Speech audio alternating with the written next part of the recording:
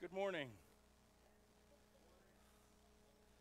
Last week, I uh, was up in the sound booth, so I couldn't do an announcements. I couldn't do the morning greet, so I got, was it last week or two weeks ago? Last week was Eric. Eric did an incredible job.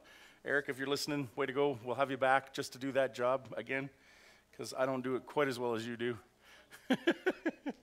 um, today, after service, we're going to do uh, continue the prayer walk over the town. Um, so if you have time, please come and get involved in that. Um, praying over the city is something that we like to do every year before we do the Come Alive. And remember to pray for Come Alive. Remember to pray for the people that are organizing that and getting that ready. Um, also, we have a, a, fellowship event coming up. Um, the summer beach party is that next Sunday? Yeah, next Sunday. So after church next Sunday, we're going to, weather permitting, we're going out to Crimson Lake and enjoying some fellowship time out there. It's potluck, so um, bring beach stuff and and uh, yeah, we're at Crimson Lake. Uh, look for. Uh, I have to zoom in because my eyes aren't good. Just look for the rest of us, and invite friends. Uh, come alive. We're doing it September 11th. That's a Saturday and we're going to be down on Main Street between 10:30 and 7:30 p.m. So it's going to be an all-day thing. Looking for people to come down and and uh, just be there and, and be a presence and pray for people if that's the need or or fellowship with people if that's the need. Just to be there. There's going to be foods, uh, kids tent, uh, youth tent. We need we need people that would volunteer for any of those or any of or all of them. Um, there's hospitality, cleaning, uh, and then there's uh, prayer. It, there's going to be a prayer tent there, so if people need prayer, they can go across, right? And uh, okay. Um, so, Father, we lift these things to you right now. These uh, things that our church is doing is useless without you.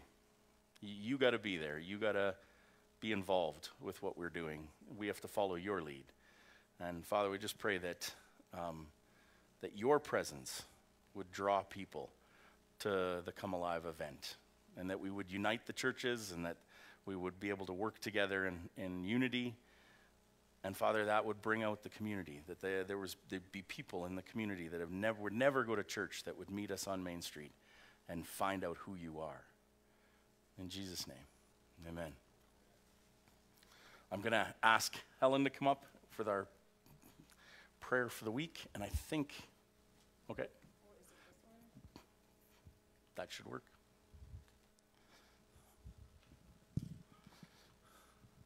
Howdy.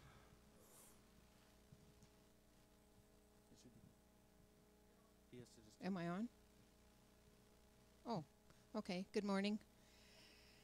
Um, so, the prayer for this week is praying for our family members that are unsaved and how important it is to, for us, even praying for our community, because you could be praying for someone else's family that's unsaved. Um, I went to see my folks the middle of July because my dad was not doing well. And the first day I was able to see him, I went with my sister and we all held hands and we prayed my sister cried and my dad squeezed my hand and he's got dementia so i talked to him about jesus that jesus is the way the truth and the life and i feel like i have to keep telling him over and over and it's like no helen trust the holy spirit. He'll do the rest. So i just felt desperate for his salvation because i don't know you know how long he's going to be with us and so i think it's just important to pray for our community. Um, So let's pray. Let's join together with other believers around our nation for our unsaved family members. May God do a mighty work in their hearts and send the right people, if not us, send the right people around, Lord God, with godly wisdom, so that they may believe on the Lord Jesus, for he is the way, the truth, and the life. In Jesus' name, amen. And just something that I was reading here is God wants us, rather than trying hard to live for Him, to allow Him to live through us and to be led by the Holy Spirit. It's so important. And God, may we be bold and courageous in that. Thank you. Thank you, Helen. Good morning, everyone. We're going to sing some songs of uh, praise and worship to our Lord this morning. Just going to read out of Psalm 100. Uh, this is uh, theme uh, verse for the music ministry here, but it pertains to all of us because uh, this is what we want. To, uh, one way we want to uh, have it look like when we worship God. Uh, Psalm 100. Make a joyful noise to the Lord, all the earth. Serve the Lord with gladness. Come into his presence with singing. Know that the Lord, he is God. It is he who made us, and we are his. Isn't that an awesome statement? We're his. Yeah. Yeah. We are his people and the sheep of his pasture. Enter his gates with thanksgiving and his courts with praise. Give thanks to him. Bless his name. For the Lord is good. His steadfast love endures forever, and his faithfulness to all generations. What an awesome God we serve. Let's stand this morning as we sing some songs of praise to our God.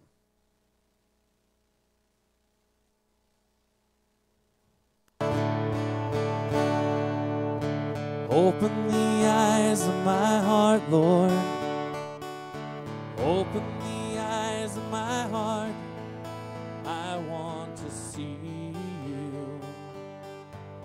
Yes, I want to see you. Open the eyes. Open the eyes of my heart, Lord. Open the eyes of my heart. I want to see you. Lord, I want to see you. To see you high and lifted up, shining in the light of your glory. Pour out your power and love as we sing, Holy, Holy, Holy.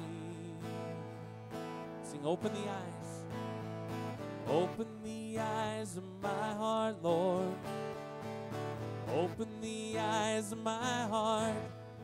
I want to see you. Yes, I want to see you. Open our eyes, Lord. Open the eyes of my heart, Lord. Open the eyes of my heart. I want to see you. Yes, I want to see you. To see you high and lifted up, shining in the light of your glory. Lord, pour out your power and love as we sing, Holy, Holy, Holy, to see you high and lifted up and shining in the light of your glory. Lord, pour out your power and love as we sing, Holy, Holy, Holy. Sing, Holy. Holy, holy, holy. Holy, holy, holy. Holy, holy, holy. I want to see you. We sing holy, holy, holy, holy. Holy, holy, holy. Holy, holy, holy. I want to see you. Yes, I want to see you. Lord, I want to see you.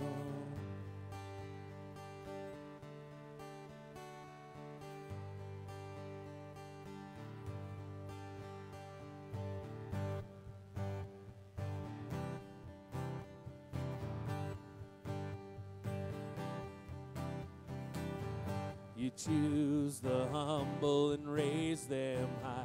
You choose the weak and make them strong. You heal the brokenness inside and give us life. the same love that set the captives free. The same love that opened eyes to see is calling us all by name. You are calling us all by name. Same God that spread the heavens wide, the same God that was crucified is calling us all by name.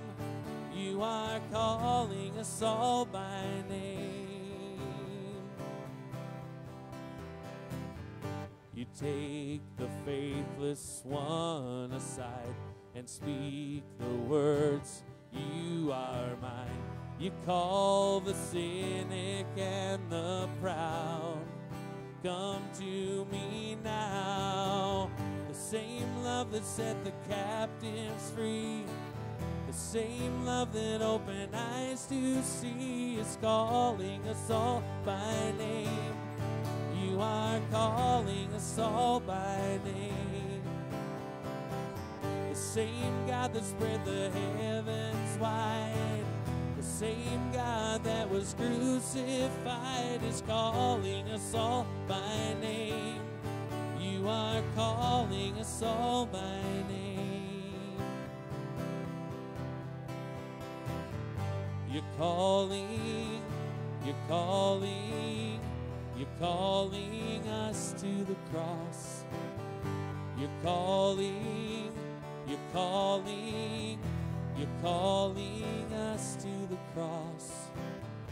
You're calling, you're calling, you're calling us to the cross. You're calling, you're calling, you're calling us to the cross. The same love that set the captives free. The same love that opened eyes to see is calling us all by name. You are calling us all by name. The same God that spread the heavens wide. The same God that was crucified is calling us all by name. You are calling us all by name. You're calling, you're calling, you're calling us to the cross.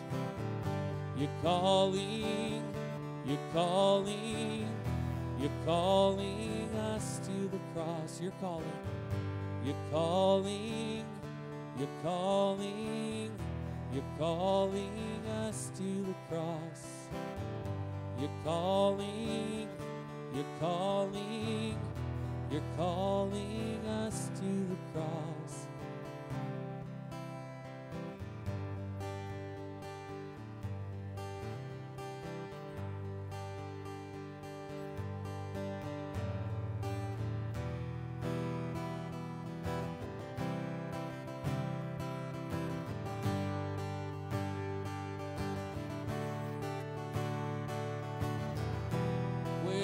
Go, I'll go.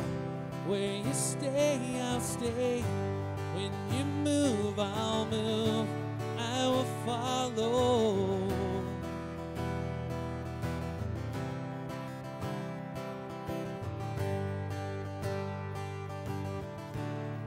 All your ways, all your ways are good. All your ways are sure. I will trust in you alone, higher than my sight, high above my life. I will trust in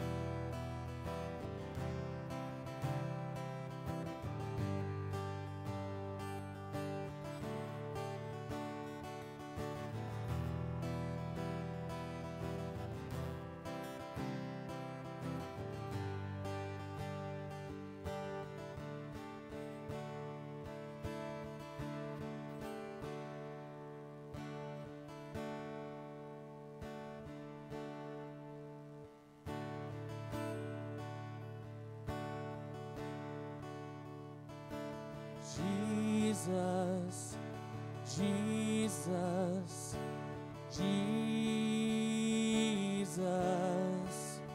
There's just something about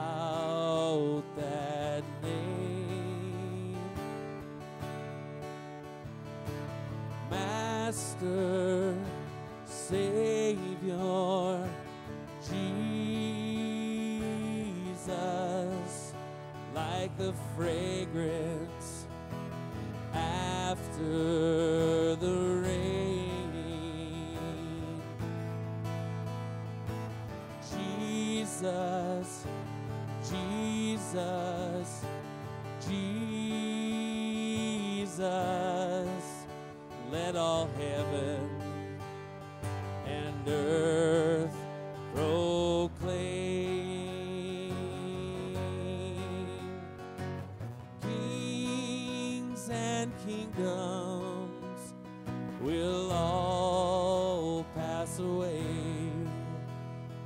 there's something about that name. Let's sing Jesus. Jesus, Jesus, Jesus. There's just something about that name.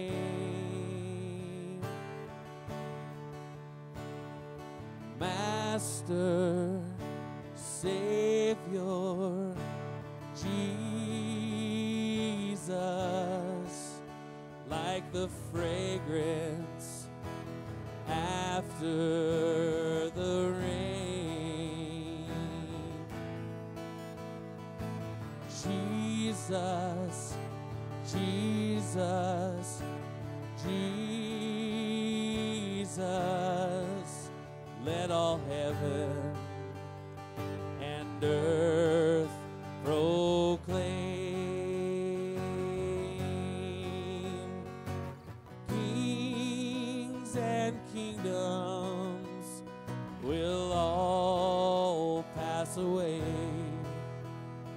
there's something about that name. So let all heaven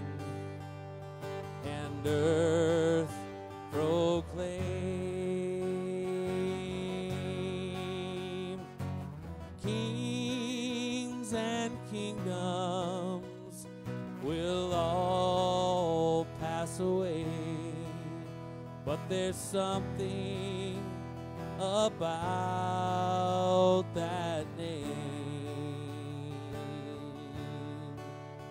Yes, there's something about that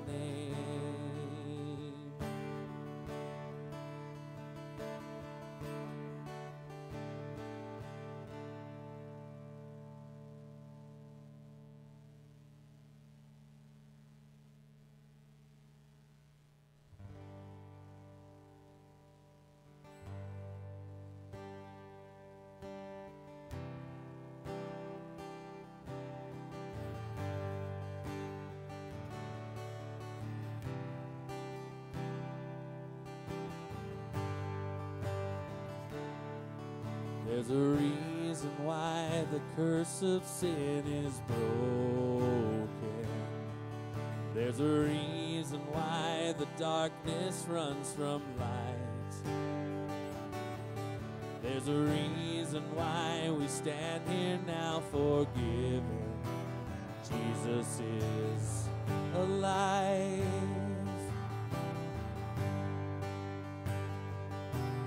There's a reason why we are not overtaken.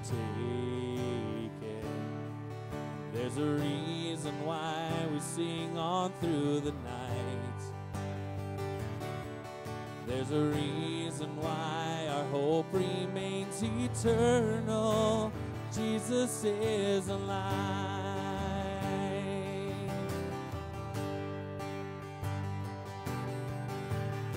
So praise the King. He is risen. Praise the King. He's alive. Praise the King. Death's.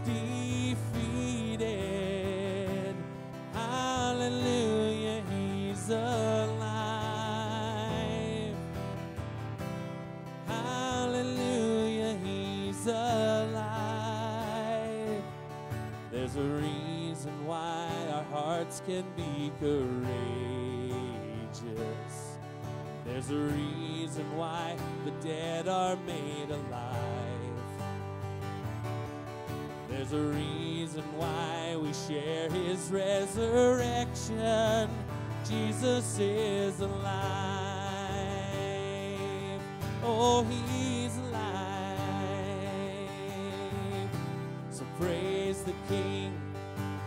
He is risen. Praise the King. He's alive.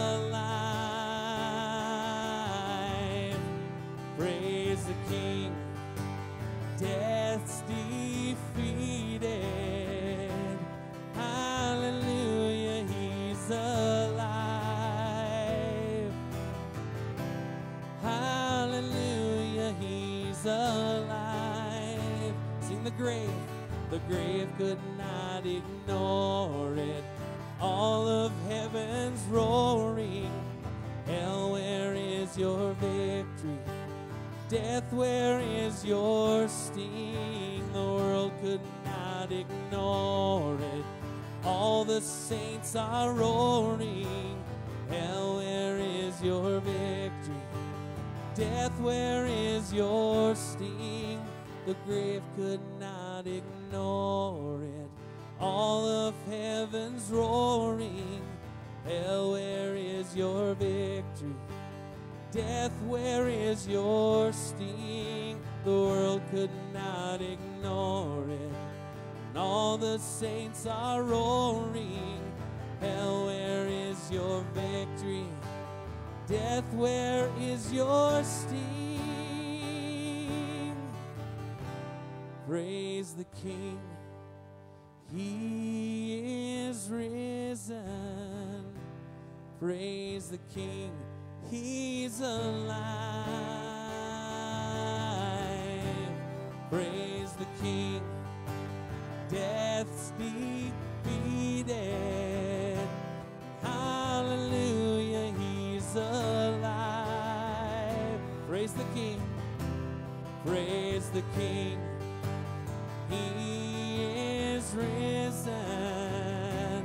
Praise the King. He's alive. Praise the King. Death's defeated. Hallelujah. He's alive.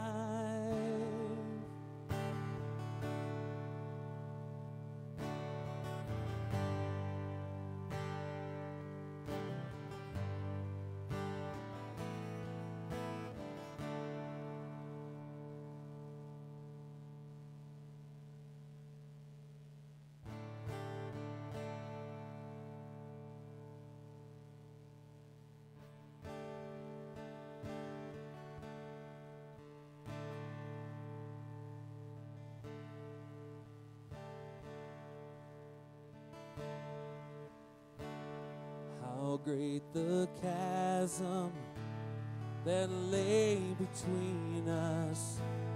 How high the mountain I could not climb.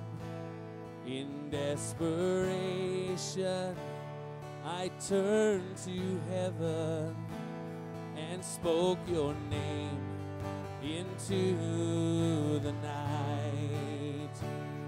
Then through the darkness, your loving kindness tore through the shadows of my soul. The work is finished, the end is written. Jesus Christ, my living hope.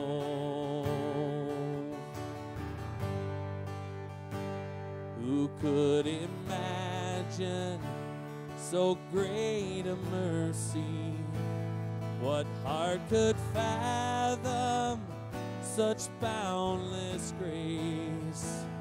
The God of ages stepped down from glory to wear my sin and bear my shame.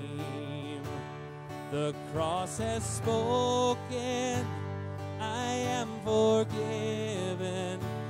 The King of Kings calls me his own. Beautiful Savior, I'm yours forever. Jesus Christ, my living hope.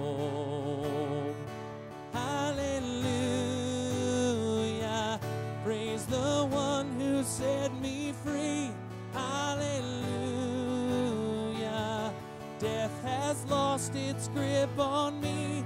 You have broken every chain. There's salvation in your name, Jesus Christ, my living hope.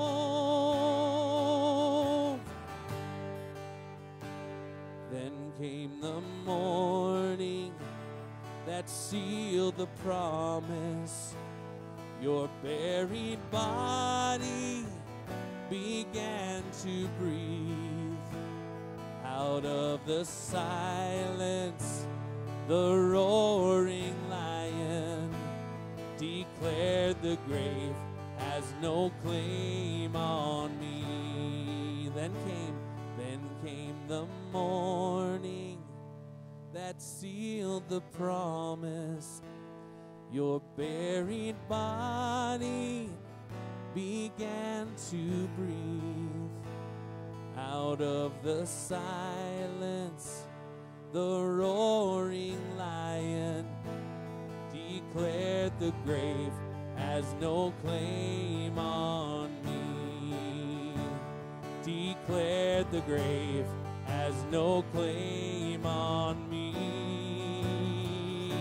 Jesus, yours is the victory. Sing hallelujah. Praise the one who set me free. Hallelujah. Death has lost its grip on me, and you have broken every chain. There's salvation in your name, Jesus Christ,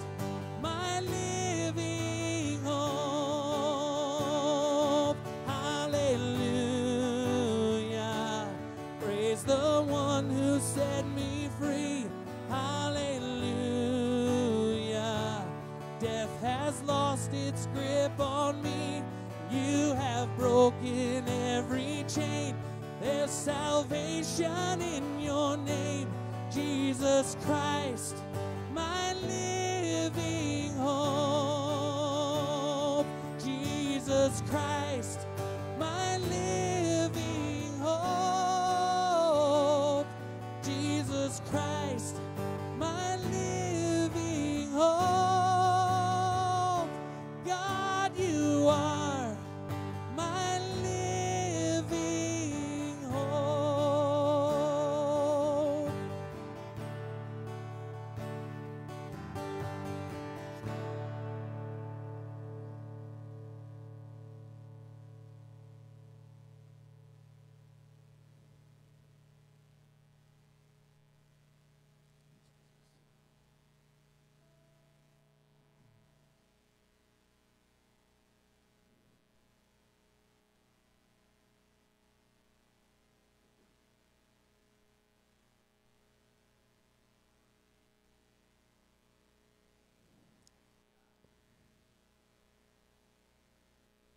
we serve a risen, living Savior.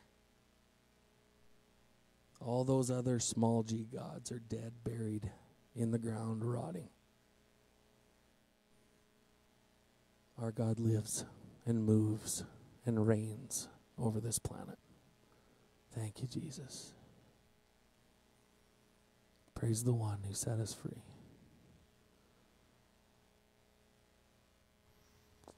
Thank you, Jesus.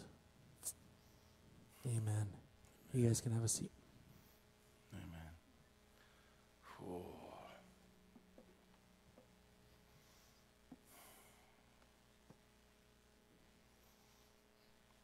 Praise the Lord. Oh, it's good to feel His presence. Whew. Hmm. okay, we'll start with the irony. Um, my message today is we're not going to, uh, I want to do the children's video before this, but I want you to see this is, the, this is the name of my message. How do you hear the voice of God? And this morning, aiming to be here at about 9 o'clock, at about 10 to 9, I started looking for my keys. we stopped and prayed three times for God to tell me where those keys are. Four times. Thank you, Gaddy Lou. Mickey had to come pick me up this morning to, to bring me to church because I still don't know where those keys are. and I have been desperately trying to hear the voice of God this morning. and, and, yeah, um, he has a sense of humor. But I want to go to that, the clip that we had from two weeks ago. Um, we did a camp at the Rock. Uh, Faith Bible Camp came down and they ran uh, a camp here now, uh, I have been connected with Faith Bible Camp now for the last five years, four or five years. That's not true, though. I was a speaker there five years ago. But when I arrived there and I found out all the, the heritage, all the legacy that Faith Bible Camp, they used to run out of Covenant Bay on Pigeon Lake. And the reason I'm here today and the reason I'm speaking in front of you today has a ton to do with what God did through the people that have been connected with Faith Bible Camp since before I knew the Lord. And when I went down there to speak and I realized how many people have taught and worked and, and I don't know how old grandma there's this 85 year old lady that works with crafts she did five years ago and, and she just loved to be around the little kids and she's she, she's getting so old that she can't manipulate the crafts the way she does and she doesn't. She, she's got other people that do that. She just loves on the kids at the craft booth and, and the kids come to camp to talk to grandma and tell her what they've done the following year. There's there's presidents of the faith bible camp that are the president of the board that remember being a kid in camp and having grandma do crafts with them. So there is never a time when God takes us out of ministry where we can retire from ministry. It is so cool. Anyways, I say all that to say that we had a blast. Go ahead. Have you been running that clip as I've been talking? There, there's some faces in here you might recognize. There's some other faces that you won't recognize on purpose because um, we're not going to send some faces over the, over the internet. But we had fun these last two, this, this last week. Two weeks ago, we had camp for, two, for a week at the Rock. They did all kinds of stuff inside the rock, and it was kind of a startup for the rock again. Because since then, we've opened up the rock on last Friday, and um, it's just so good after, after COVID to be back in there doing ministry again. It's, it, we just had so much fun. Everything was used. Um, we have, we have candy in the rock from that was purchased before COVID. Some of the yeah, I, I got to love one of the fathers of some of the kids. We, se- we sent some prizes home with the kids, and we sent them sugar. and one of the fathers said, Yeah, no problem. I, I understand you sent them sugar. So the next day, he sends it back with them in their lunch. yeah, touche. well done. but I just want you guys to know because I'm, I'm one of the volunteers out there at the Rock that the rock is going again. We are moving again. We're looking for volunteers to run some of the programs. One of my main volunteers is uh, still uh, one of my main volunteers, one of the rock's main volunteers, because I'm a volunteer as well. But one of the main volunteers is He usually runs the Monday night program. It's basically the same as Friday, it just ends a little sooner because it's a school night. Um, he is working for the town of Rocky Mountain House as well as going to college right now. So that will run, he will be doing that until the end of September, and then he may um, pick up the Monday nights. But right now we're running Friday nights, and Friday night we got the word out on Facebook, we got the word out on Main Street for the Main Street uh, Market on Main, and uh, people were getting, uh, knowing that the rock was opening, but you know what it's like, word of mouth, it needs to get out there. So we were expecting, you know, seven to ten people last uh, Friday night to come for our first opening, which is really cool because we opened on Friday the 13th. We tend to tend to do weird things like that. We didn't do it on purpose. That's just the way it worked out. But we had 12 kids there. Yeah, that was that's that's a that's a decent number for the first night, especially in the summertime. So it was good to have it going again. And everybody said the same thing. It's so good to be back. It's so good to be here. And it, and some of the kids, there was two girls there that had never come before, and they were they fit right in. The, the mentality at the Rock is everybody fits in. So it's, it, was, it was pretty cool to run it last night. Well, uh, Friday night. Yeah. um, let's see if this works. Like I said, my message was about hearing God, and uh, my morning has been a little bit exciting. trying to hear the voice of God. Um, if you have your Bibles with you, let's look into our word. Thank you, Lord, for your, your word. Thank you that you speak to us through your word so many times. There's so many other ways you can speak to us, but primarily you use your word. That's why we are empowered as Christians to know your word and to ask the Holy Spirit to teach us from your word. Thank you, Lord, that we can hear your voice and we can know who you are. In Jesus' name, amen. So if I could get you to turn to John chapter 10, we're going to read verse 27. So that's John chapter 10.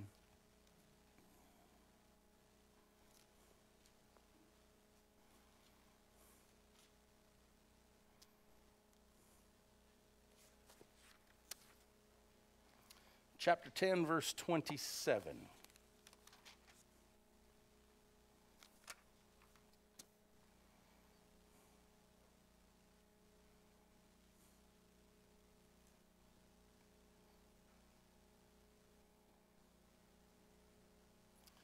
My sheep listen to my voice. I know them, and they know me. My sheep listen to my voice. I know them, and they follow me. Depending on the version you're reading. That's what I want to talk about tonight, or today. you can tell I'm a youth pastor. I usually speak at night, right?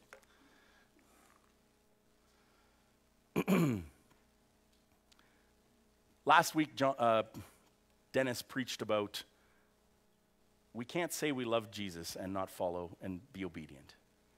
And I, I, I was so convicted by that message. It was so good. Um, I don't fully believe some of my brothers who said that means no TV anymore, but uh, we were joking about it after service. But there's a seriousness about what we watch. We, we got to be cautious because we're like a computer, right? You put garbage in, you get garbage out. And we want to focus on what's pure and what's holy because that's what we want coming out. But this whole idea of hearing God, and it's easy for a child to say, I didn't hear you say that, Daddy. and I think sometimes that's our excuse. I, am I, I, didn't, I'm not obedient because I didn't hear clearly that was God. And I think sometimes um, we're like that kid that puts their hand over their ears. I can't hear you, I can't hear you. But we can err to the other extreme too. And I want that to be the basis of my message today that, that sometimes we think we need to earn the right to hear God's voice. And I want to do some, uh, some groundwork to understand a, a little bit of the Bible, how it talks about hearing the voice of God all the way through. And what that. Controller has a red ring around it. I think the batteries might be gone. Can I get you to advance that to the next screen? Mm. Uh, the next screen should just be the tabernacle. We've jumped ahead. There we go. Um, why I'm going back to the tabernacle because th- there's a framework here. Um, if you understand what came before Christ was the tabernacle, the way the Hebrews approached God was in the rules and regulations of the tabernacle. Now, let's just. Leviticus is where we find all this information, and it's, it's, it's very written like a law book. Okay? And there's so much detail in it, but you have to, you have to study it and you have to look at it in a way that what would the common guy do because of those rules? And I just want to break it down to that. So, you've messed up, you've done something wrong, and you want to get right with God. So, you pick an animal out of your flock that's without spot or blemish, and you bring it to the temple priests. Now, you stand at the door. There's only one door. There's not many doors, there's only one door. Just point that out. and you come in, and there's that yellow thing in the middle. That's the brazen altar. And you can see all the way around, looks a little bit like a butcher shop. And that's pretty much what it was. That the, the certain pieces were taken out of the animals, and the Levite, the priests, they, they got to survive on that, the, the, the stuff that was sacrificed. That's how they, they didn't raise animals, they took care of the, the, the tabernacle. So they were fed from the sacrifices from the Hebrews. So you're just a regular Hebrew, you bring it in, they doctor the animal, they do the right thing, and then they bring it up, or they, they clean it or whatever, and then you, it's still alive, and then you put your hands on it, on its head, and you say, I don't know if it was out loud or just to yourself, but you say, those things that I've done, those sins that I've committed to God or to others, I place on this animal. And let it be done to it what should be done to me. And then the priests take it and they cut it open and they take those pieces and then they everything else is burned on the brazen altar to dust. It's just destroyed. And this picture of the sin being transferred over to that animal so that the sin could be dealt with. Because it's that sin that prevents us from entering into the presence of God. It's like we live here in Rocky, and in order to reach the West Country, you can't because of the Saskatchewan River. So it's impossible for us in Rocky to get to the West Country, right? No, somebody built a bridge. We can't get to God because of sin. And there's nobody here that can say there's no sin in their life. Just like back in the Old Testament, they dealt with the sin so that they could come to God. Jesus is our bridge. We don't have to sacrifice animals, we have the sacrifice of Jesus. But I want to I want to put this in perspective. We can cross into the West Country. Somebody has built a bridge. What's the purpose of dealing with our sin? So that we can enter the presence of God. Just like in the tabernacle, they did the animal sacrifice. That made them right with God so that they can enter into a relationship, enter into a conversation, enter into communication with God. And we can see it. Some of them did, like David, and, and like, there's many, many that did. They spent time in that area of the temple before the brazen altar and they communicated with God. They, they did their best to, to lay their hearts out for God. The dealing was the, with the sin isn't what made them right with God. I say that tentatively because it did make them right with God. That's what allowed them to enter into God's presence. But it's one thing to say, good, our debt's dealt with, bye. And it's another thing to say, good, our debt's dealt with, good, let's push that aside. I just want to get to know you. I just want to talk with you. Do you see the difference? And that's what I'm talking about. So it, some of us believe that we have to jump through hoops to impress God so that he can talk to us. And that's not the case. The things we need to do in order to hear from God isn't to impress Him so that He's standing there waiting for us. If we go to the next slide, it's so that our ears are ready. So our, our countenance is ready so that we can hear from Him. He's always speaking. God is always speaking. Might have to take it all the way back to the beginning, Tim. If we take it right to the beginning, because we're. If you close it, the little one down here. I'm so sorry. This was all supposed to work on the little thinger, and if you no, it, the the two little arrows down at the bottom here that expand it to full screen. If you close it, nah. Anyways, I don't need the PowerPoint. I can just talk. Makes it easier for the guys online, but God's always there waiting for us, always wanting to speak with us. He's always there. And it's not that we have to jump through the hoops so that He's impressed, it's so that we, we prepare ourselves to hear from Him. I'm reminded of a joke. Um,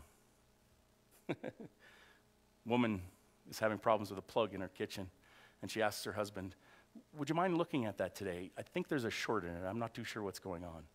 And so then she goes away, and when she comes back about an hour or so later, she, she walks into the kitchen, and her husband is standing in front of that plug, and she, he's. And so she goes, Oh my goodness. So she grabs a wooden broom, not a metal broom, but a wooden broom, because she knows what's happening. So then she gets in beside him and she jabs the broom in between the wall and her husband, and she just reefs on it as hard as she can to get him away from that plug and keep him from being electrocuted. And he falls down on the ground He looks up at her and goes, What? And she's like, You were being electrocuted. He says, No, I wasn't. I had my iPod in, I was dancing. Sometimes we need to pull the iPod out of our ears to hear what's going on in the world. And sometimes we need to prepare our ears to hear from God. you won't forget that, will you?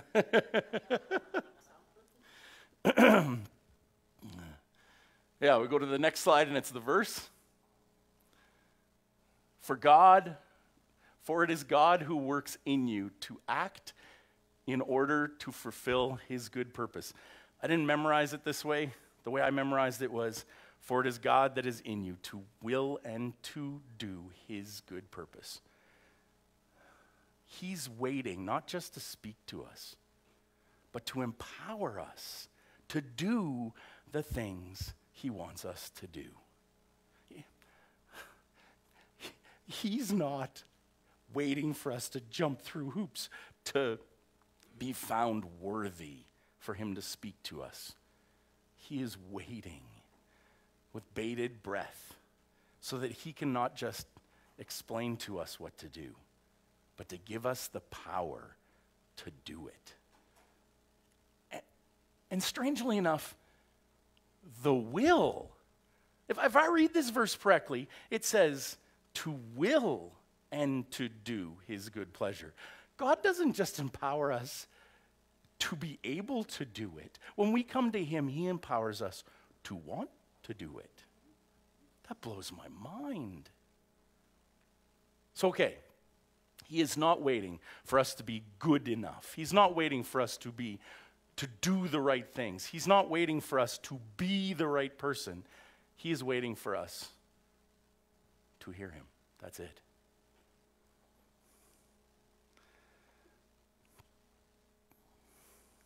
Like I said, Dennis preached last week about hearing the voice of God. And I sometimes think that I have a, a rebellion problem because I'm constantly not doing what I'm supposed to be doing. Or, or I have a, a weak will. But I'm learning more and more as I walk with the Lord. It's not about my will and it's not about my rebellion. It's about what I love more than Him. And when I love Him and I spend time with Him, He empowers me to do what I need to do.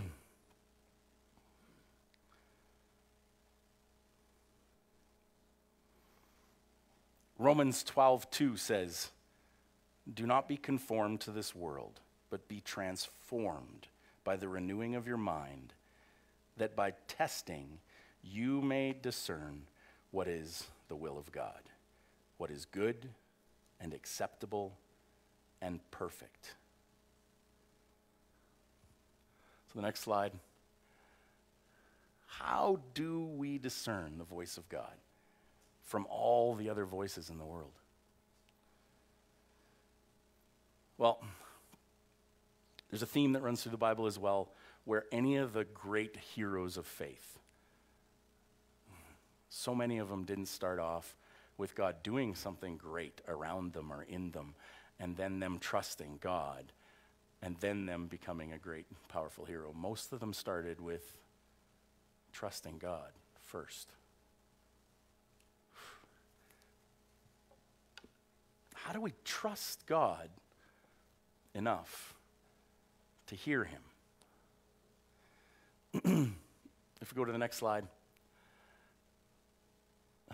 these are some of the things I need. We, we need to prepare ourselves. The, the way we need to open up our ears, the way we need to, like they slaughtered the sheep back when. Trust is the first one and submitting, being pure, waiting on Him, expecting, and then practicing. But we'll break these down one at a time. But I think we need to first, one more slide, take the big picture. It's all about growing in our relationship with God. When we, you think about any relationship we've had in our life, we don't, we're not born great communicators. And in every relationship we have in our life, we communicate to them a little differently, don't we? You have a different vocabulary. I mean, with my wife and I, she's French. We have a different language sometimes. when I was growing, when my kids were growing up, if I said, "Sweetheart, close that door," they'd be say, "What?" I say, "Close the door." Oh, I'm, I'm busy. Fermez la porte. They knew I meant business. They knew I was, I was done. I was spoke French. Daddy, the Anglophone, just spoke French. That means I do it right now. And they did, right?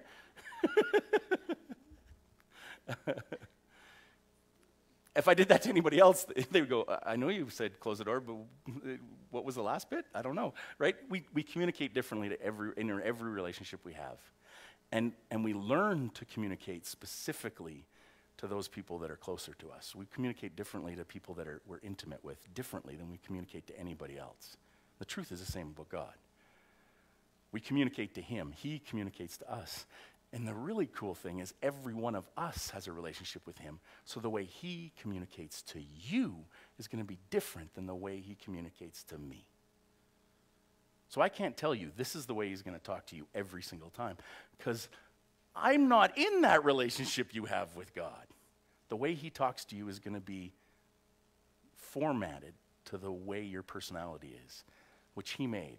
So He knows how to communicate to you better than anybody else. Next slide. Okay, we're back to trust. There's this next slide. There's this really cool verse. If I can bring it up, I'll just turn around and read it off the screen. 2 Corinthians 4:17 For our light and momentary troubles are achieving for us an eternal glory that is far outweighs them all. Paul wrote this. And if you know the story of Paul, light and momentary troubles is kind of funny because that man went through a ton. He was left for dead a few times. The really cool thing is when he wrote this verse, he was chained to somebody in prison. Not just in prison, but chained to someone in prison. And, and it, the Roman government believed that they were right by might. They were right because they were strong enough to say they were right. So, can you imagine a prisoner that would have a contrary view? The, the, the guards and the soldiers? You can make yourself right by enough might. Light and momentary troubles, he says. Light and momentary troubles. How much of our lives do we go through light and momentary troubles? They're quite as light and momentary as what Paul probably went through every day. And yet there he is. That's trust. That's trust. How do we get to that kind of trust? I, I think there's, there's two different ways, we, uh, there's two different things we need to put in place. Uh, next slide. It's our perspective. Our perspective let, next slide. Life is hard. We go through life, and sometimes we focus on this little bit. I mean, if we live 100 years, well, wouldn't that be awesome if we could all, I can say to all you, you're going to live 100 years. Not really, right? Because if you think about of eternity, that's heaven. Next slide. Life is hard, but it's short. Heaven's eternity. Francis Chan. Oh, and I got his name right that time. Thank you, Lord. Because I always say Jackie Chan, and people go, huh? Um, Francis Chan does, the, does this uh, analogy where he carries a rope on the stage.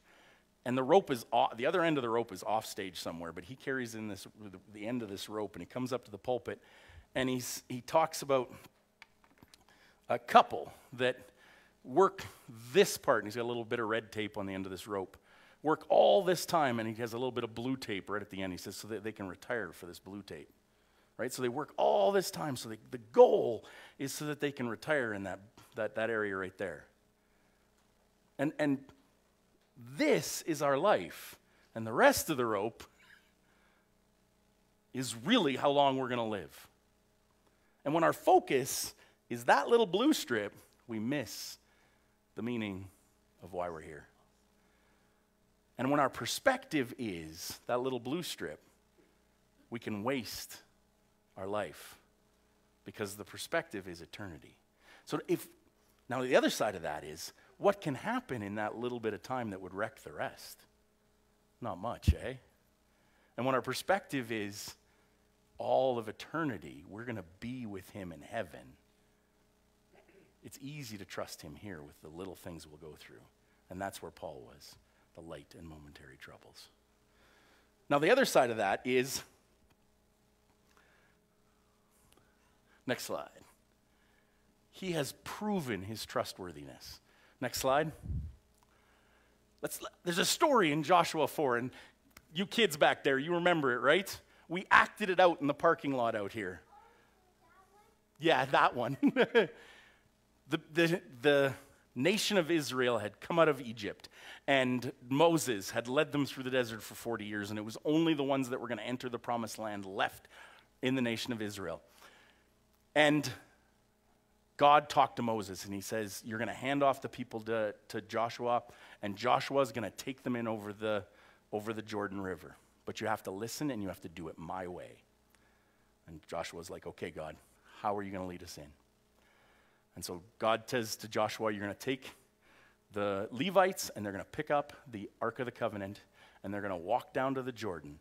And everybody else is going to be about a kilometer. And I looked it up and I did the math, and it's almost exactly a kilometer. Isn't that cool?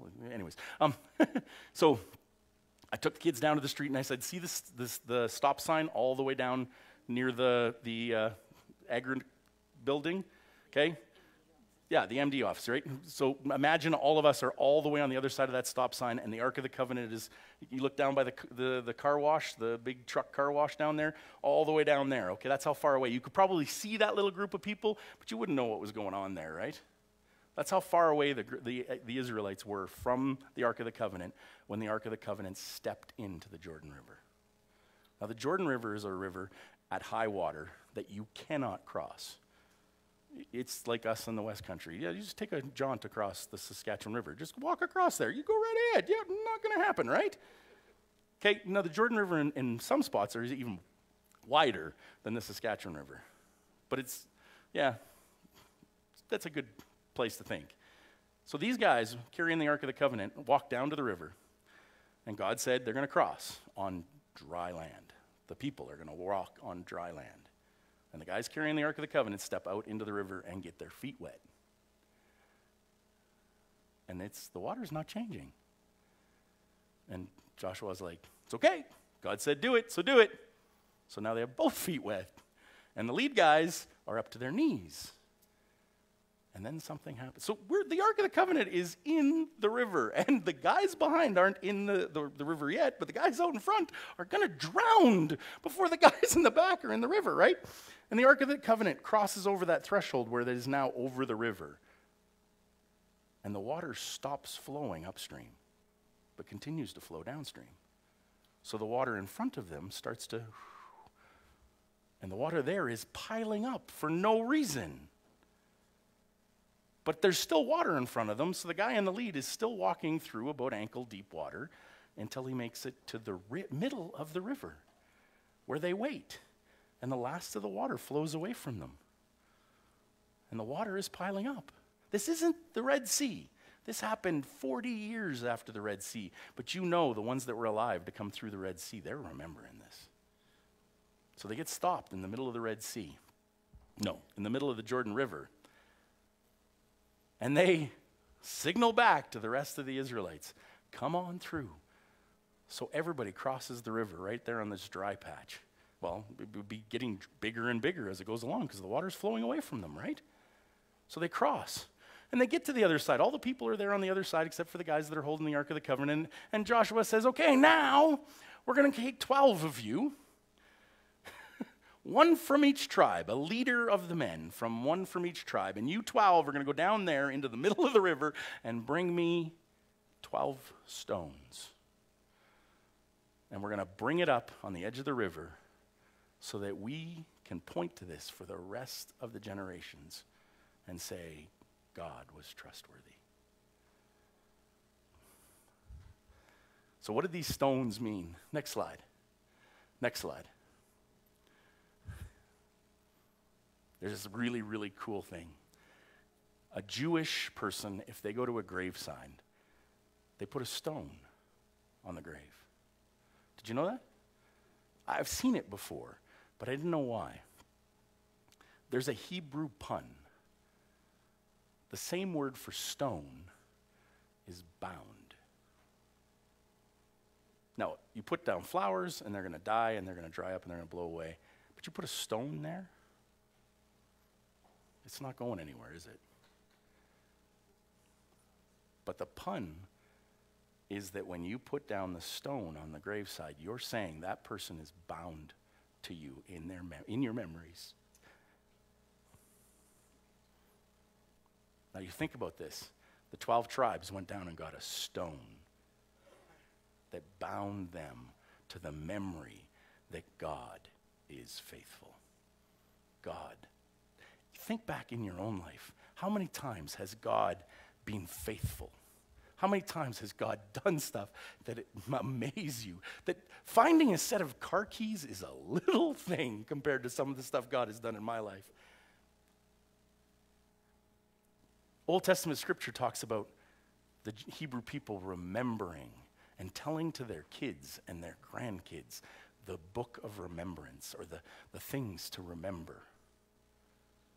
I think if any, every one of us spent one Sunday down in Sunday school and all you did was tell the kids the stuff you can remember that God's done in your life, that would be so good for them and it would be so good for us, wouldn't it? That, that, that idea of bringing up the stuff that God has done in our past. He has proven himself trustworthy. So, those two things we look at our perspective and we look at the fact that he has proven himself trustworthy. And that allows it, makes it easier for us to trust. Okay, next slide. Oh, submit. Oh, a tough one. I'm not going to tell you that we have the wrong perspective of submission. I might even say that we. Submit's a tough word because it means giving over that position of authority in our life. You can't do that before you trust. That's why it's in this order. You have to trust Him before you submit to Him.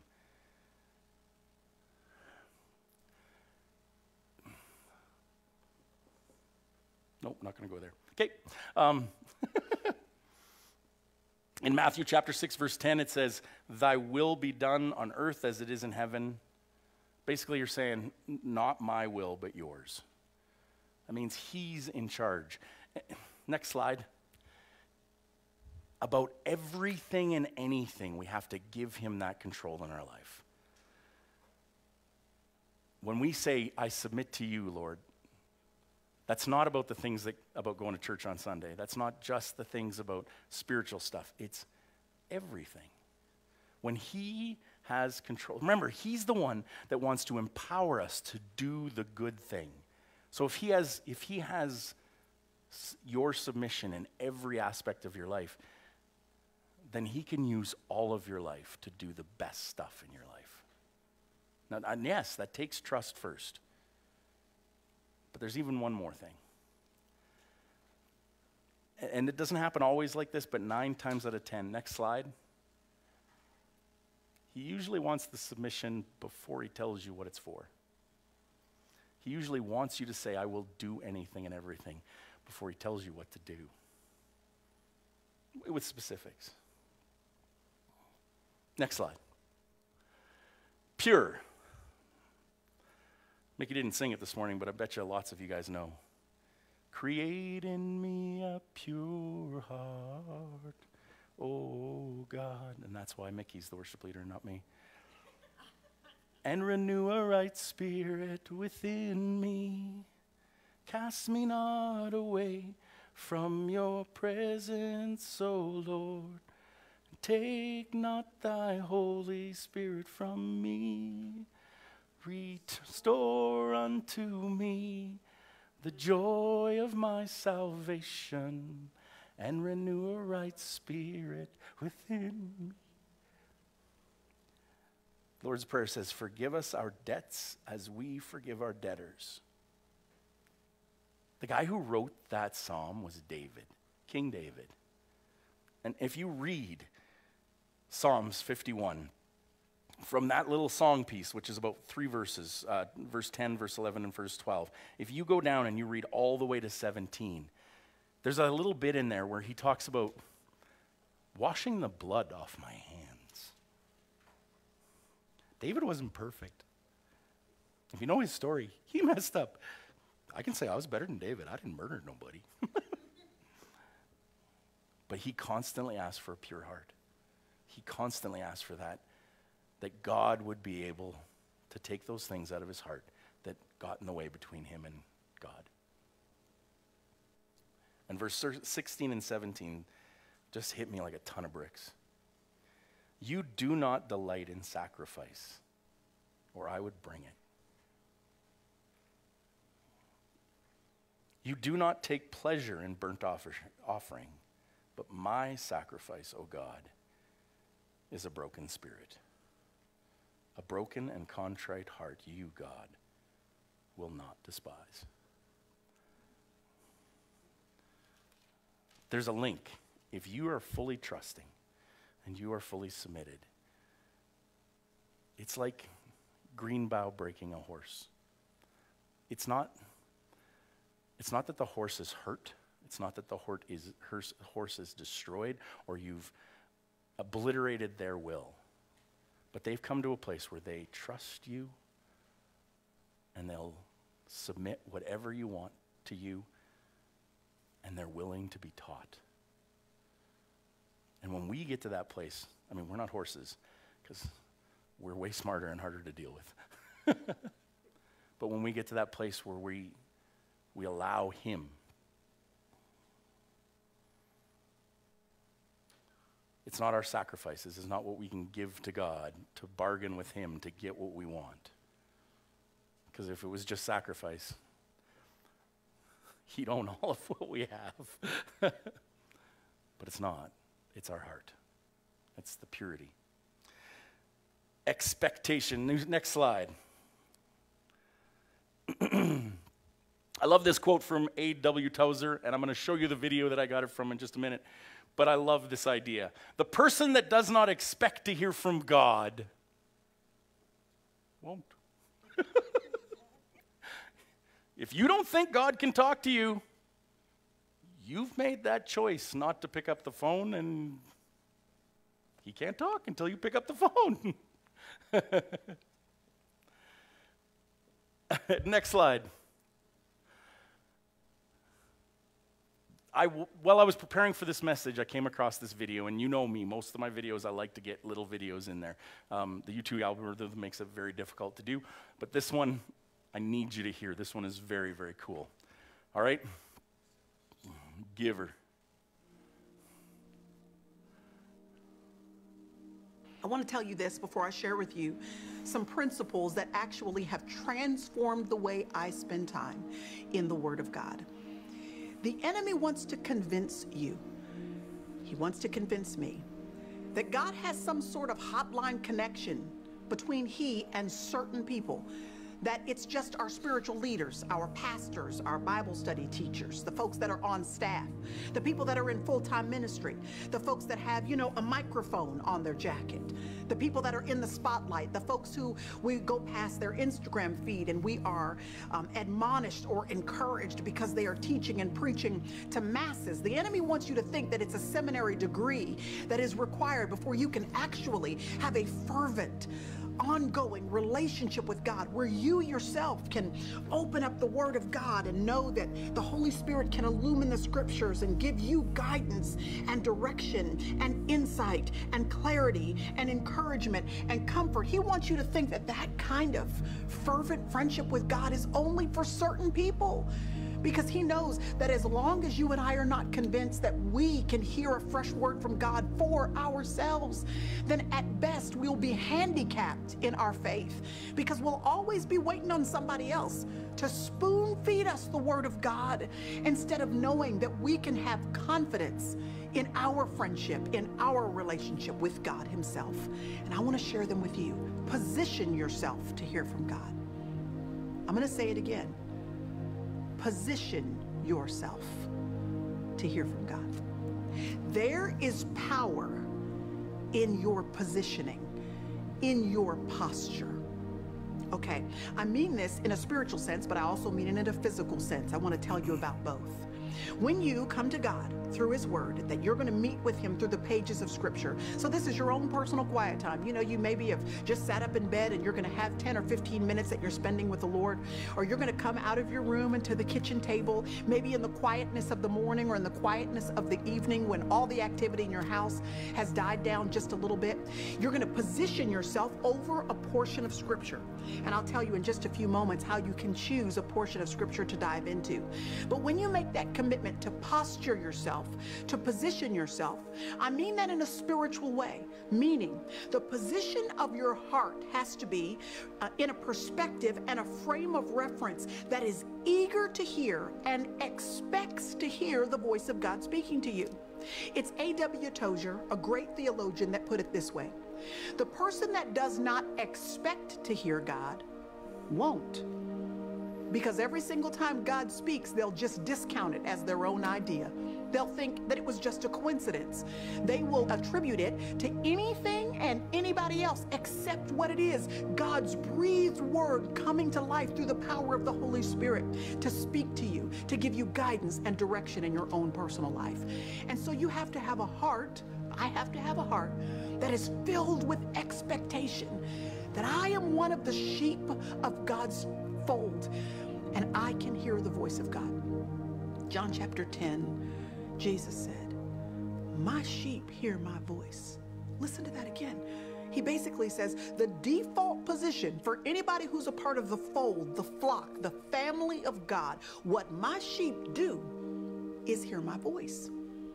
It's one of the schemes of the enemy to get you to think that you need to be something more, be something else, have a different perspective or a different personality, or be someone other than you are, to have excelled in some way, to not have made the mistakes that you've made. It's the scheme of the enemy to get us to think that we have to be anything other than a son or daughter to have this right, this privilege to hear God speaking to us through the word.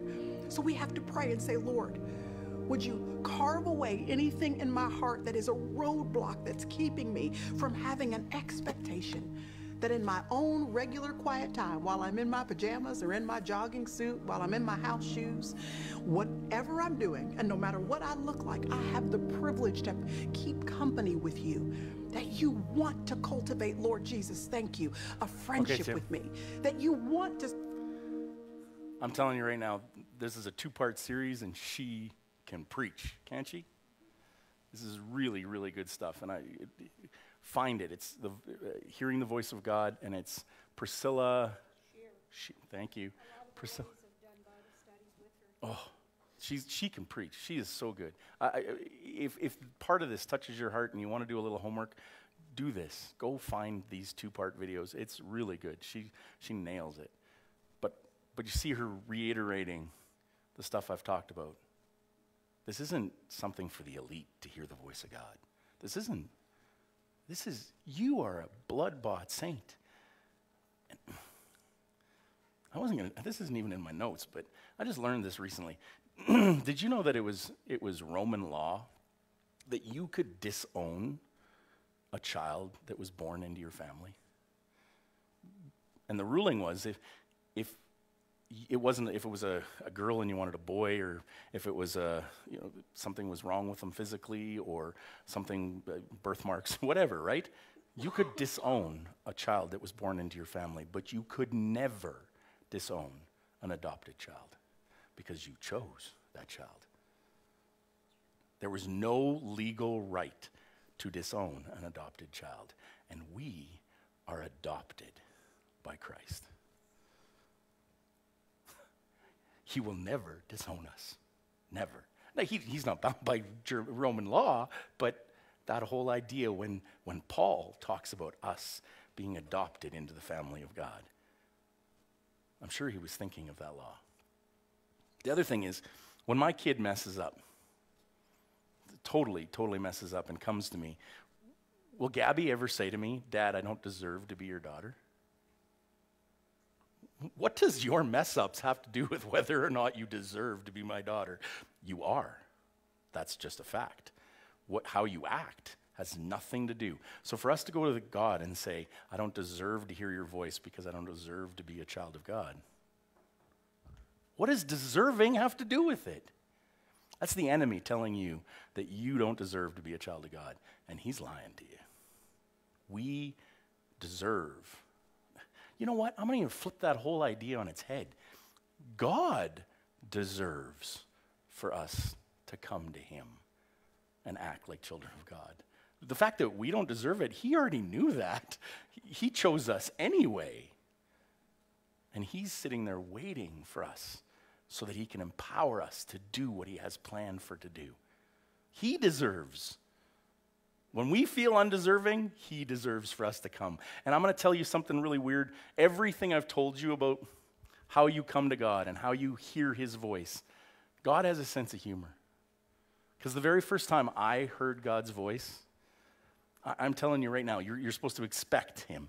And you're supposed to know that it's Him that's speaking to you. And you're supposed to go into it expecting. Well, the very first time I remember sitting down on my own couch in Wetaskiwin, Alberta, and saying, okay, God, if you can speak to me, then give me a place to read in the Bible. I'm not asking that you do this. If you, if you have a devotional life, your devotional life should be structured. Don't do a devotional life because you feel you need to do a devotional life. Do it, that would be like giving flowers to your wife every Friday because you need to do it. Now, the first couple of Fridays, she'd be like, wow, that's great. But like 12 years later, she'd be like, yeah, flowers again. You're not doing it because you want to, you're doing it because you think you need to. God doesn't want us to come to Him because we think we need to. But if you're doing a devotional life so that He can teach us and so that we can connect with Him, and so that's your time cut away so that you can be with Him, that's a good use. But this first time, I sat down and said, God, I didn't know much about the Bible, very little about the Bible. I said, Give me a scripture verse. And He gave me Isaiah 43 15. Is there 43 books in the book of Isaiah? Like, seriously, I'm new as anything, right? I don't even know if I can find my Bible. Isaiah 43, 15. Isaiah 43. There's not 43 books in Isaiah. Oh, wow, there is 43 books in Isaiah. This isn't, this isn't God, this is me. This is totally me, it's not God. Not expecting that God can talk to me. Right? This isn't God, this is me. Do you know what Isaiah 43, 15 says? I am the Lord your God, the Holy One of Israel, your King. So, after telling you you have to come and you have to be expecting, God has a sense of humor. Now, you guys, some of you know me well enough to know that I have a pretty decent sense of humor. And that would make sense that God would use his sense of humor to get a hold of me. a couple verses later, got to remember, I was a brand new Christian. Isaiah 43, 18 and 19 says, Look, I'm doing something new. It's going to spring up right in front of you. I'm going to put paths in the wilderness, and I'm going to put streams in the wasteland. He did. He's done something new. where I was before and where I am now are two totally different places. God can speak to us right out of Scripture like that. And when we sit down and we plan a devotional, and you have a, a, a, plan of where you're going, and you take that plan to the Lord and, and, you, and you let Him edit it, you keep your ear to let Him tell you to do things differently. When I say that expectation that God can speak to you at every moment, at every day, uh, some of you guys know this personally, and some of you guys have just seen it. But have you ever seen a mom that has a brand new baby in the other room sleeping? She can get a lot accomplished while that baby's sleeping. But there's something about her that is tuned to that cry. Right? Whatever she's doing, that baby, okay, stop what I'm doing here. Go take care of the kid. She, she's doing all this other stuff. She could even be listening to music. But when that baby cries, she hears it. Right? You know what I'm talking about, don't you? That's the expectancy we can have with God. That it doesn't matter what we're doing, God can talk to us in a moment. I had a couple of things. Market on Main a couple of weeks ago. Uh, uh, this lady stopped me. I have dark marks on my legs because of my diabetes, because I let my blood sugar get too high for too long and it thinned the skin. And, anyways, it's not a big deal. It really isn't a big deal. But I was wearing shorts and she saw it.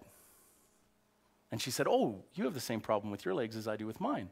And I said, Oh, you have diabetes? And she said, No, I, I dropped something on my leg and it scabbed up the side of my leg. And I said, Oh, that's not, not scabs, it's was my diabetes, whatever. I said, and whew, you need to pray for her. Okay, we'll see where we can fit this into the conversation.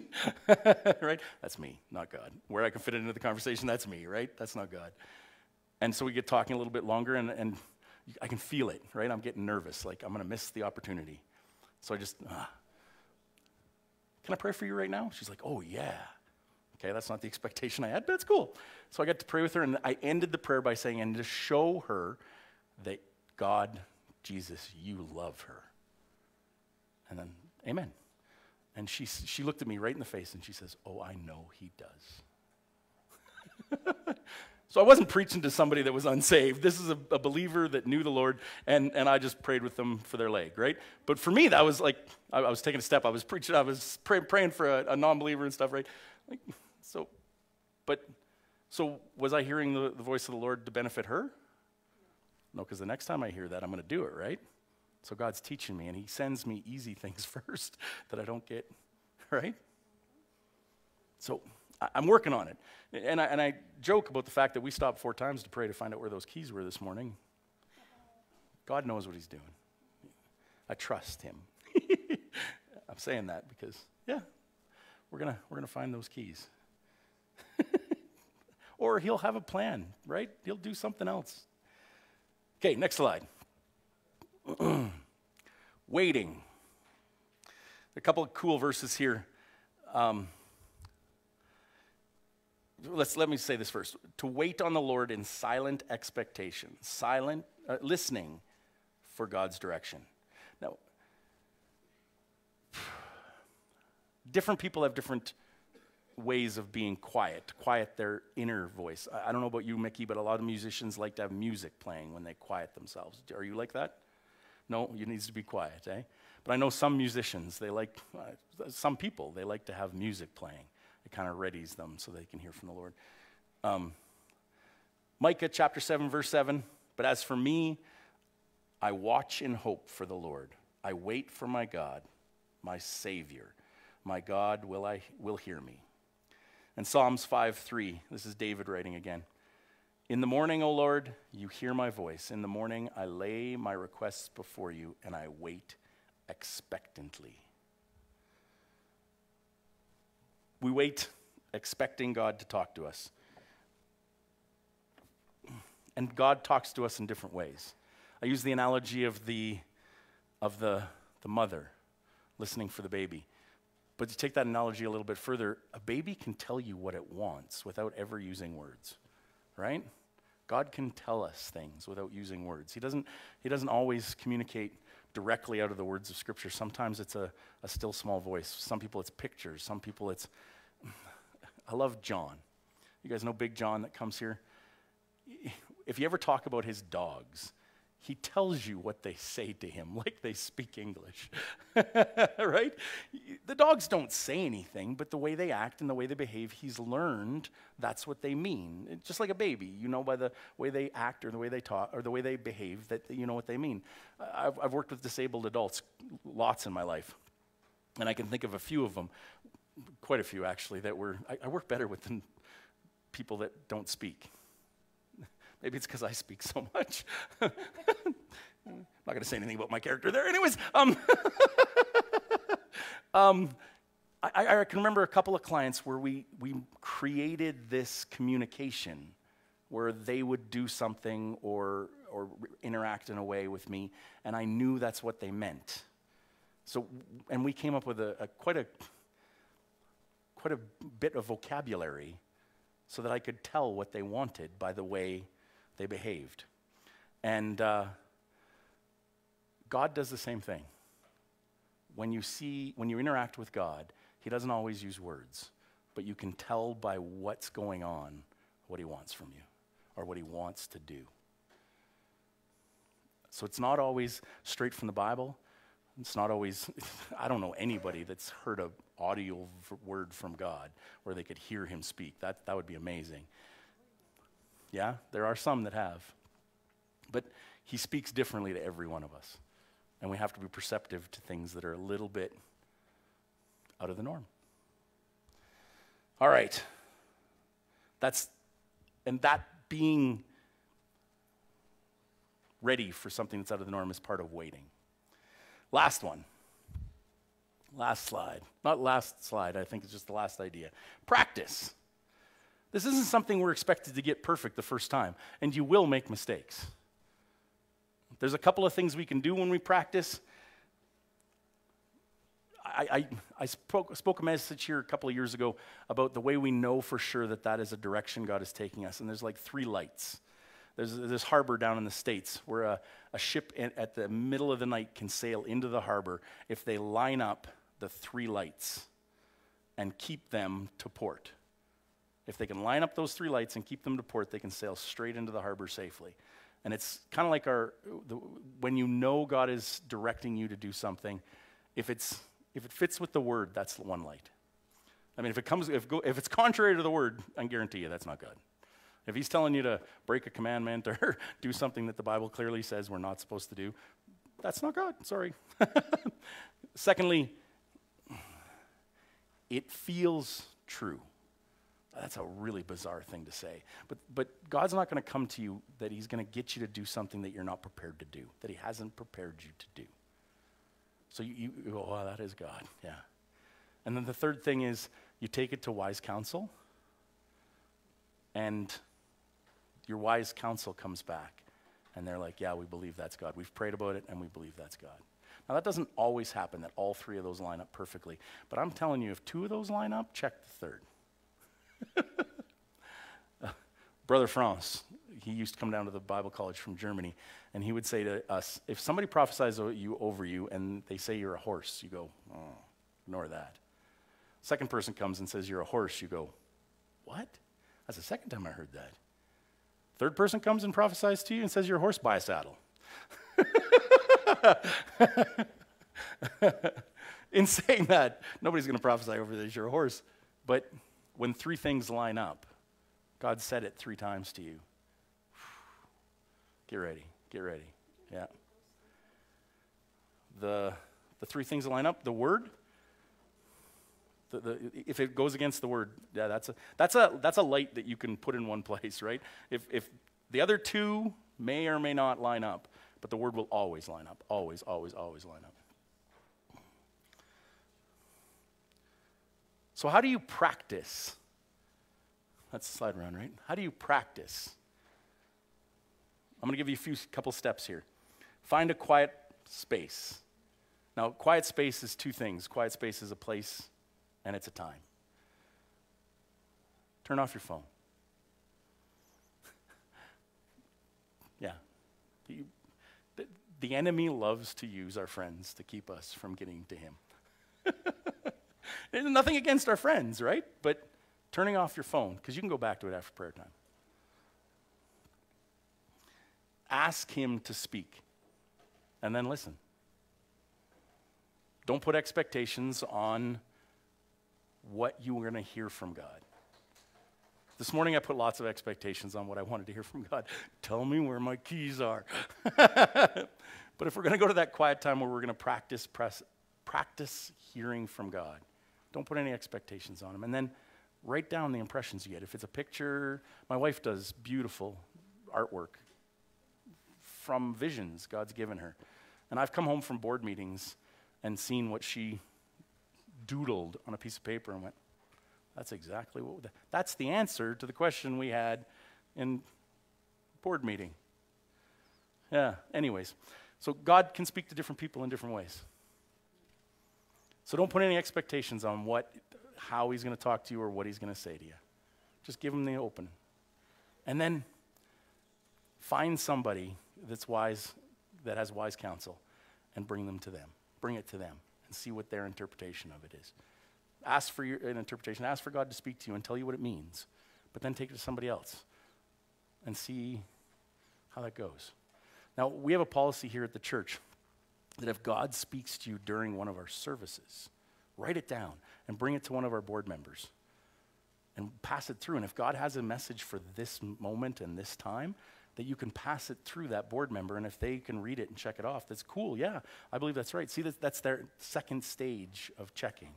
And it's, it's not because you're not worthy to come up and speak, but it's because it's just another, because everybody makes mistakes.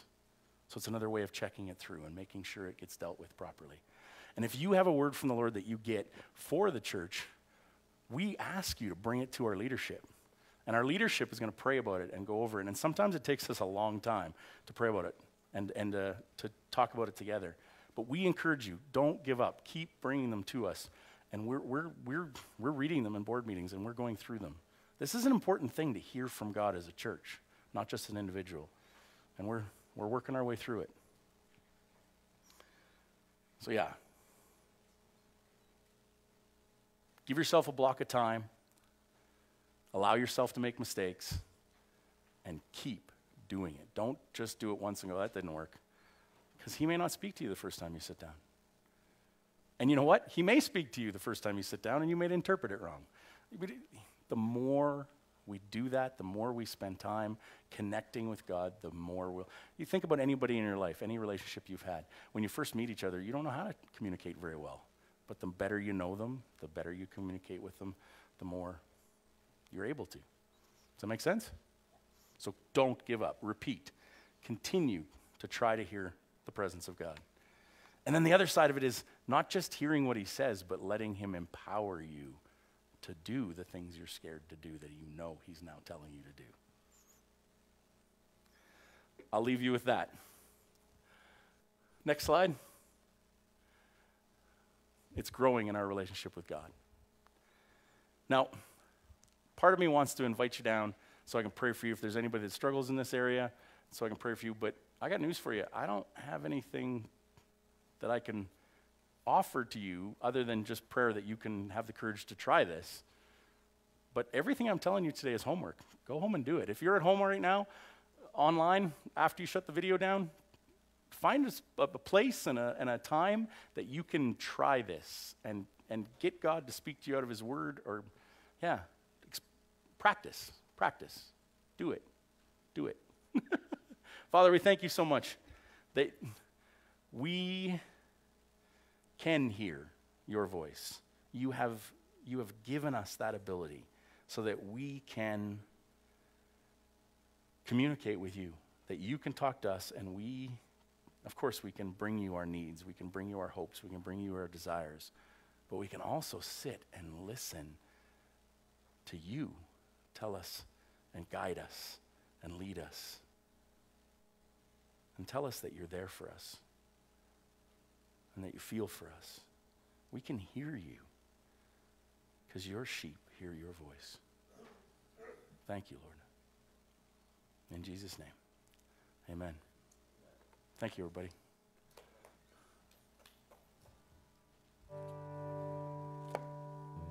Why don't we just sing the last part of that Living Hope song that we sang earlier? Uh, just to uh, kind of finish up the service this morning.